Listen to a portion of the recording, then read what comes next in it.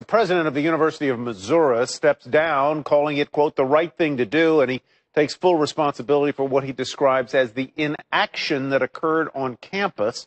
More insight on leadership or the lack of leadership during a crisis like the one from Mizzou from our guest, CNBC contributor and Harvard Business School professor of leadership, Bill George, uh, along with Tim Judge at Notre Dame's Mendoza College of Business. Bill, Tim, welcome. Good to have you with us. Bill, you've Thank written you. a book on leadership. Was this a failure Mhm. of leadership, and how would you characterize or describe it? Well, I think it was a failure. I feel sorry for President Wolfe, and I'm not here to judge him, Tyler, but I think it shows how tough it is to lead today and how you have to reach out to all your constituencies and be personally Yes. engaged. And I think he wasn't. And after the problems in Ferguson, I think he could have anticipated that there were going to be problems with African American students on the campus. And so he let this thing get out of control.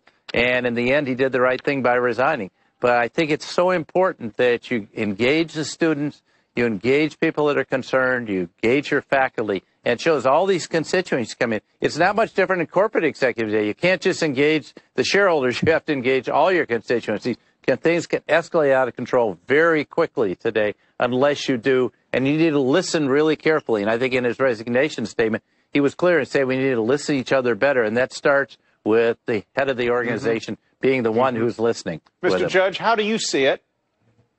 Well, I, I agree with Bill. I think, uh, you know, this is a situation where I think once the case had gotten to this point, there was little that President Wolfe could do but resign. And, you know, you have to ask yourself, okay, looking back, what, w- what could we learn from this? And I think a lot of it is, uh, you know, this is a very public uh, situation with the Ferguson uh, incident. And I think, uh, you know, you, you look back on this and think, you know, when you see these incidents occur and they build up, you know, the leader, uh, President Wolfe, it, it, there's a public side to this that the, the leader has to be very vocal. And I think uh, dealing with this in private meetings was, you know, not the approach that, that many people expected because you have to set the tone and you have to let the people who are sympathetic to these incidents know that this kind of behavior is not welcome. You know, Mr. Judge, I- I'm reminded of a case 40 years ago when I was at the University of Virginia where there were similar I- issues over race uh, that led to uh, the, the student council and the members of the student body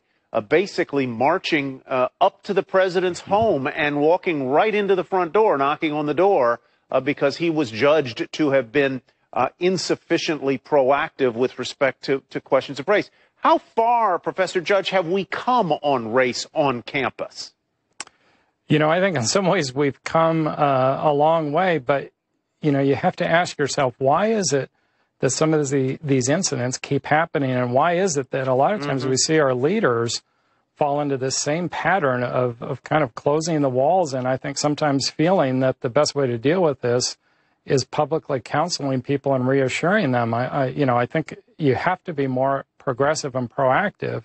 Right. And these actions are absolutely outrageous. And I think the you know all the students need to know, uh, white and black, that that kind of behavior is not going to be tolerated. Right. Let me interrupt. Yeah, Bill, I, think want to, Bill, I want to come back to you. We have to take a quick news flash with Dominic Chu. We'll be right back. Dom. All right, so Tyler here, the reason why we're bringing this to your attention is right now Norfolk Southern shares have been halted for volatility, have been for about the last six minutes or so, up 5%. This on the heels of Bloomberg headlines saying that uh, Canadian Pacific Rail is said to possibly be exploring a takeover of Norfolk Southern. So again, Norfolk Southern shares right now halted for volatility. They are expected to reopen momentarily, but they are up 5% going into this particular headline. We should note out Canadian Pacific is still trading right now, and it's currently up about 5% as well. Also watching, of course, the ripple effects from other rail companies like Union Pacific, Kansas City Southern as well. So rails Right. very much in focus in this trade today. Back over All to right, you Dom. guys. Uh, let me turn back to uh, to Bill George, if I might. Just tie it off here. I know you, Bill, well enough to know that you believe that leaders lead, leaders engage, leaders get out front. Is that where this president failed?